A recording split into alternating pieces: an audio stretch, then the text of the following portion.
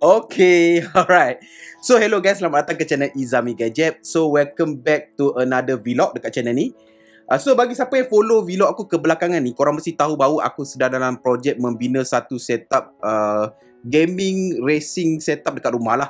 Jadi kita dah ada tiga video sebelum ni. Part pertama adalah kita punya PC build.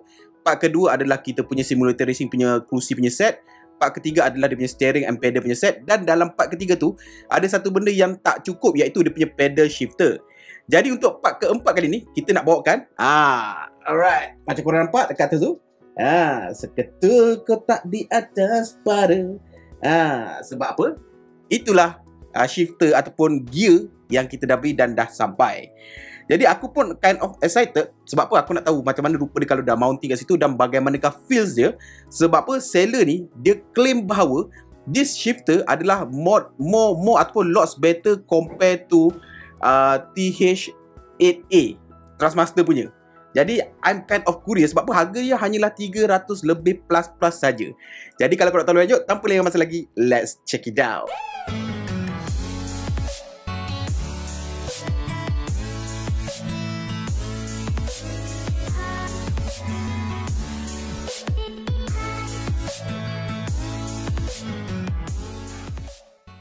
So kalau based on dekat dia punya seller punya description macam aku cakap tadi, ya ni dia macam custom tau, dia tak ada brand tau. Ha, jadi hopefully dia boleh mount okay dan boleh gunakan secara plug and play lah. Kalau tidak kena pening jugalah kan nak nak apa? Nak install dia kan. Alright. So dapat dia punya unit ni. So shifter dia macam ni rupa dia. Right? Oh nice. Dia adalah H shifter lah kalau korang nampak itu kan. Right? So mounting dia bawah ni macam ni. Right? So Muaz macam ni mounting ni. Kau nak tahu mounting macam ni kan? Mounting ni macam ni Muaz. So dia pakai USB type A. Mungkin direct connect ke komputer. Aku tak rasa ada ada port kat sini. So dia ada bagikan uh, screw untuk mounting lah. Alright. Material adalah aluminium, solid, nice dan gear knob ni boleh tukar ni, dia boleh pusing ni. Alright, so aku nak pasang jap.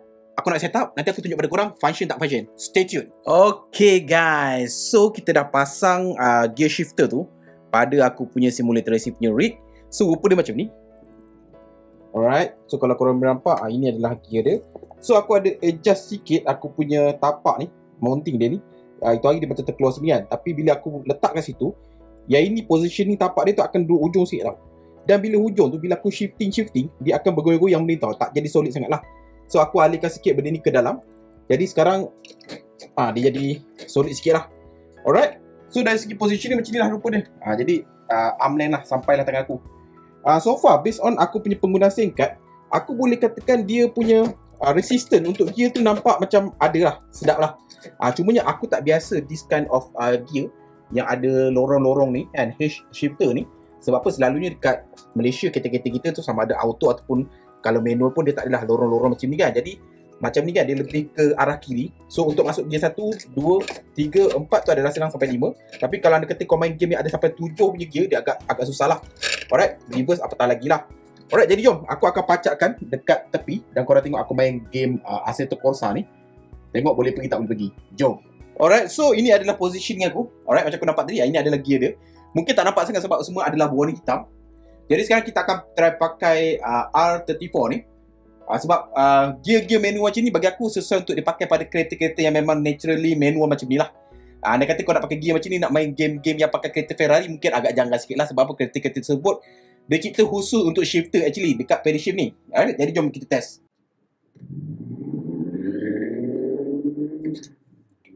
So far dari segi masuk gear memang lembut, ada sedikit resisten. Aku boleh katakan agak sedap lah.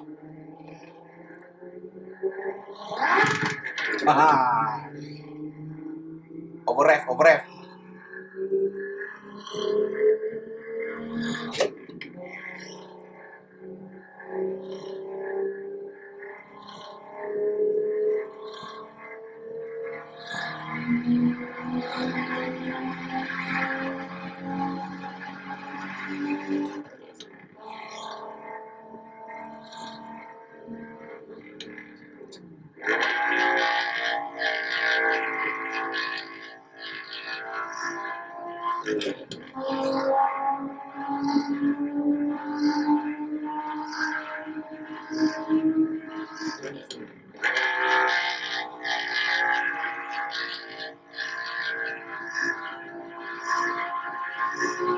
決めるんだよ。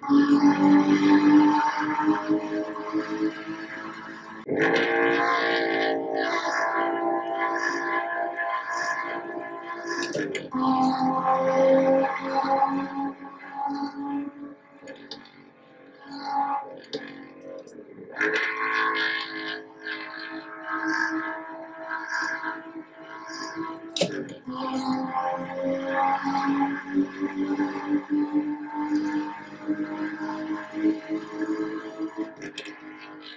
So, apa aku boleh katakan for first time user punya experience lah menggunakan simulator racing dan juga set-set macam ni, ia adalah satu pengalaman yang sangat-sangat memberangsangkan lah.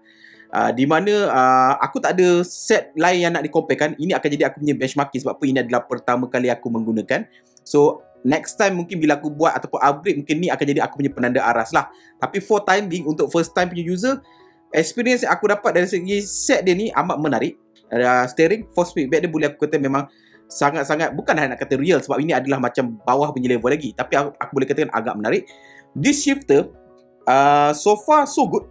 Dalam permainan-permainan yang memerlukan uh, manual punya driving uh, dia punya masuk tu fluid dia ada resistor dia dia tak rasa kosong. Uh, cumanya aku nak kena biasakan again macam kata dia punya lorong-lorong tu kan supaya dia tak dia masuk tu tepat lah. Uh, sebab itu kalau korang nampak aku shifting tu agak agak-agak lah sebab dia tak macam gear kereta biasa manual dekat Malaysia ni Uh, tapi so far dari segi dia punya binaan aku boleh katakan agak solid dan uh, so far memang tak ada apa-apa brand tau. Uh, seller ni aku nampak dia post kat grup PC lepas tu dia buat kat Shopee. Dia tak ada brand. Dia kata custom uh, apa ni uh, gear. Uh, dan diklaim bahawa ia adalah better 200 kali ganda, 200% daripada Trustmaster TH8A. Which is aku tak adalah untuk to put in comparison. Tapi so far pengalaman aku memang sangat-sangat menarik. Uh, so nanti kan mungkin kita akan buat streaming dan nantikan aku punya full uh, review. Ini lebih kepada macam full initial impression. Uh, sama ada in the long run, adakah function tak function dan mungkin mana tu ada rezeki untuk upgrade. Jadi ini boleh dijadikan sebagai satu penanda aras lah. Uh, so guys, kalau korang suka video-video macam ni, korang boleh support aku dengan klik butang subscribe kat bawah. Butang loceng kat sebelah ni dan sampai bertemu lagi video akan datang. Macam biasa guys, Assalamualaikum. Ciao.